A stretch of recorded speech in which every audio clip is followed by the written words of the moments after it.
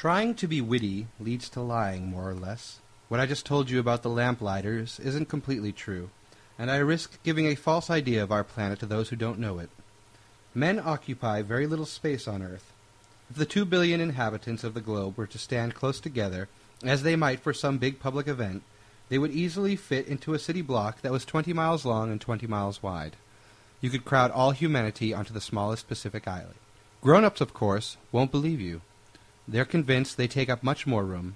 They consider themselves as important as the baobabs. So you should advise them to make their own calculations. They love numbers, and they'll enjoy it. But don't waste your time on this extra task. It's unnecessary, trust me. So once he reached Earth, the little prince was quite surprised not to see anyone. He was beginning to fear he had come to the wrong planet, when a moon-colored loop uncoiled on the sand. Good evening, the little prince said, just in case. Good evening, said the snake. What planet have I landed on? asked little prince.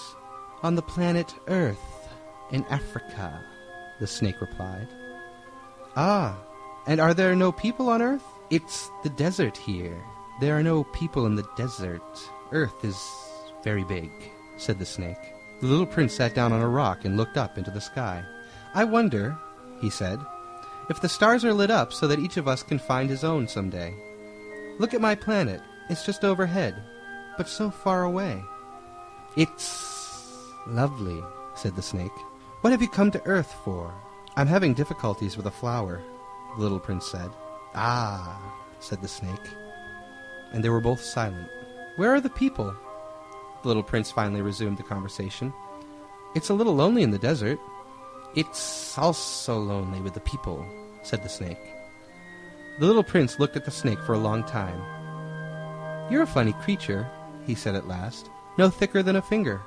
But I'm more powerful than a king's finger, the snake said. The little prince smiled. You're not very powerful. You don't even have feet. You couldn't travel very far. I can take you further than a ship, the snake said. He coiled around the little prince's ankle like a golden bracelet. Anyone I touch, I send back to the land from which he came, the snake went on. But you are innocent, and you come from a star. The little prince made no reply. I feel sorry for you being so weak on this granite earth, said the snake. I can help you someday if you grow too homesick for your planet. I can. Oh, I understand just what you mean, said the little prince. But why do you always speak in riddles? I solve them all, said the snake, and they were both silent. The little prince crossed the desert and encountered only one flower, a flower with three petals, a flower of no consequence. Good morning, said the little prince. Good morning, said the flower. Where are the people? The little prince inquired politely. The flower had one day seen a caravan passing. People? There are six or seven of them, I believe, in existence. I caught sight of them years ago, but you never know where to find them. The wind blows them away. They have no roots, which hampers them a good deal. Goodbye, said the little prince. Goodbye, said the flower.